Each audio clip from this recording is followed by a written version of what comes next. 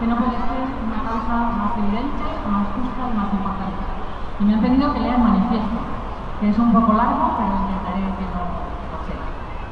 Eh, el cambio climático es consecuencia de un modelo de producción y consumo que ha demostrado ser inapropiado para satisfacer las necesidades de muchas personas, pone en riesgo nuestra supervivencia e impacta de manera injusta, especialmente a las poblaciones más pobres y vulnerables de la. Sin embargo, es posible cambiar el rumbo y encaminarnos hacia un mundo más sanitario, solidario y seguro.